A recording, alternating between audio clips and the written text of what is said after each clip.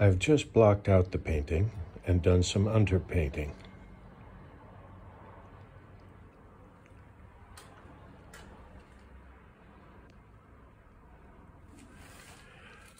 And this is where I am painting.